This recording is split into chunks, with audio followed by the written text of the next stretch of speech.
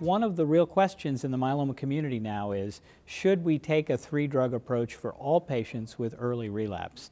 And I think that there's certainly a lot of scientific and clinical arguments to support that. We don't have all the data that shows improvement in survival yet, and I think that's really the one missing piece of information.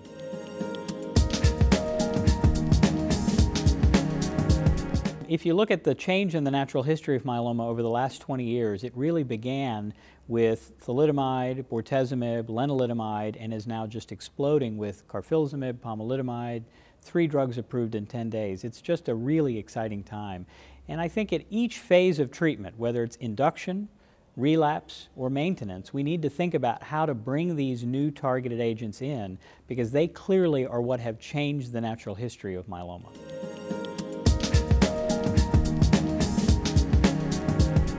Many of the drugs that we use don't target a specific mutation, like they do, say, in lung cancer or breast cancer.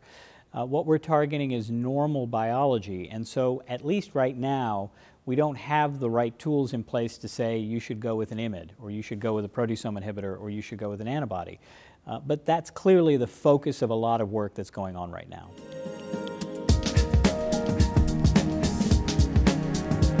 A real uh, benchmark for us in the myeloma community was changing the definition of symptomatic myeloma from end organ damage only, the previously reported CRAB criteria, to now including the three myeloma defining events.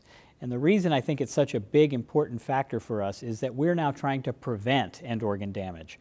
And in patients that have an abnormal free light chain ratio greater than 100, for instance, we know the risk of renal failure within two years is very high. There's no reason to wait.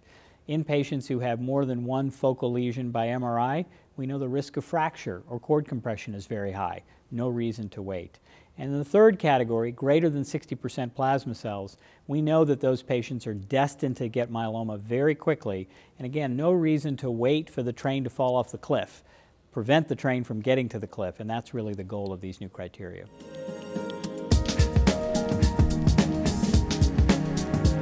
I think that the traditional paradigm of observing patients with smoldering myeloma still is in play. There are obviously a number of clinical trials evaluating early intervention in the context of high risk smoldering, but at 2015, especially with the new definitions that have incorporated these myeloma defining events, smoldering myeloma continues to be an area where we either observe or enroll on a clinical trial. Standard treatment is not a recommendation at this time point.